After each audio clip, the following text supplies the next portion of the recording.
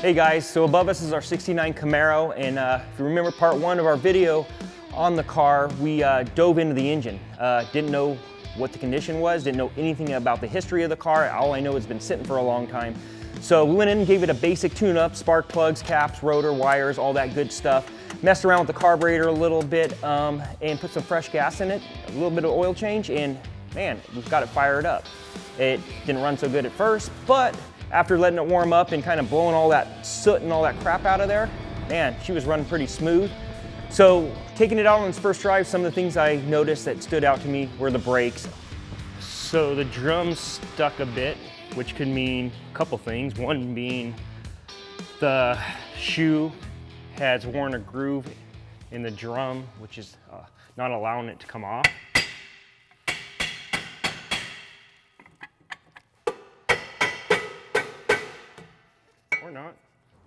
Coming. There we go. Jeez. Yeah, these things all grooved up. So look at this one. Compare the front one that was all smooth. It's in, got a lip right here. That's what everything was catching on was that little lip right there. So I'm gonna go ahead and just kind of get all this brake dust and stuff out of here, clean everything up. You can actually start seeing the color of the springs again. I'm just taking pictures so I can come back later in case I forgot how something goes and look at my references because um, there's a lot of moving pieces and a lot of different things going on in here. So you can't take too many pictures. Right, So it's really a good idea to have a good set of uh, brake drum tools. This one works really well, especially to remove springs. Just be sure you don't drop any of your pieces.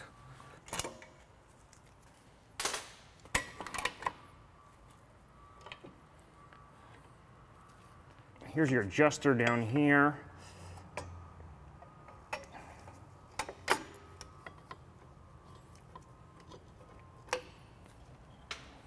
Another spring. Look at all the cracks in here. Um, so there's a primary and a secondary brake shoe, and the smaller line brake shoe goes on the front, just for reference.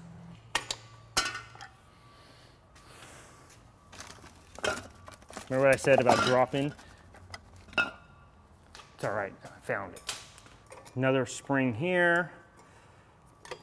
This is all part of what adjusts your brakes. Okay, and then your e-brake. And there we go. I'm gonna go ahead and now spray this down again.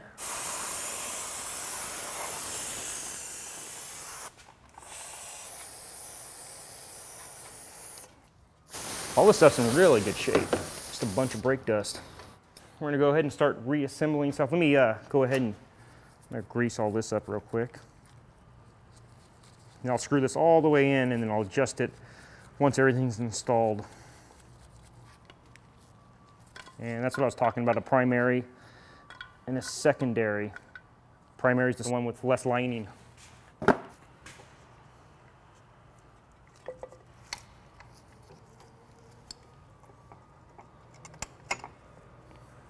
Make sure you get everything seated. Just don't pinch your finger. There you go. Get this all where it needs to be. Like that. There. Okay. That's all looks good all through there. Now the bottom stuff. Be sure you put your adjuster, the little teeth where the window is so you can adjust it from the back side of the backing plate.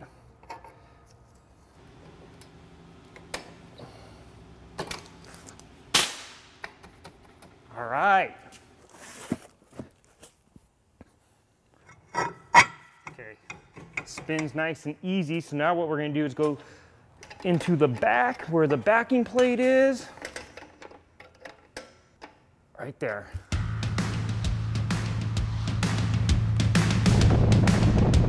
Car feels great, it stops straight, and it actually will stop really well. I'm gonna show you right now.